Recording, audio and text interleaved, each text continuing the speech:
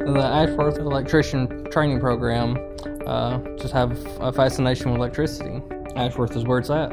The, the way the program was, the people that were helpful, I had everything on time, on point, everything that I needed to get my degree, they gave it to me. Well, I work long hours, and if you know if I come in at 10 o'clock at night or if I come in at 5 o'clock in the evening, either way it was still there, and I didn't have to be at a, a classroom at a certain point, a certain time, to where you know the teacher's going to stand there and talk, and I've got to be there at this time, this time, this time, and I had the flexibility to come and do my studies as I could and as I needed.